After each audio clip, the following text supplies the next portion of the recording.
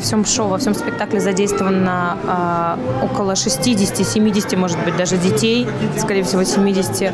Это ученики фигурного клуба «Сияние» и Федерации фигурного катания Республики Бурятия, а также задействованы а, профессиональные актеры. Для нас, для всех, для всей нашей команды, абсолютно для меня, для тренеров, для айсметра, вообще для всех, для звукооператоров, светооператоров.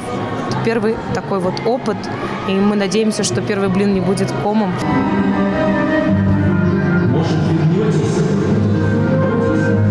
Мы потратили около месяца на это. Каждый день по порядка 4-5 часов проводили на катке. Синяков много? Много, очень много. Все колени синие.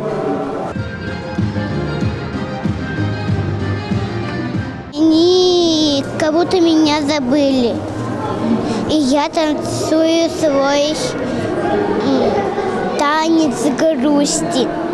Я играю елку, и соломинка пузырь лапать забирает меня стоять к себе во двор на Новый год.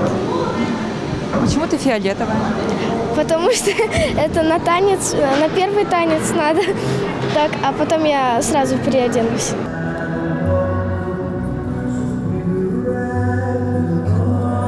Мы, конечно, не Илья Вербухи и не Татьяны Навки, но э, я думаю, уверена, что с каждым годом будут э, все лучше и лучше, интереснее и интереснее проходить эти шоу. Очень интересное, насыщенное представление, на льду особенно.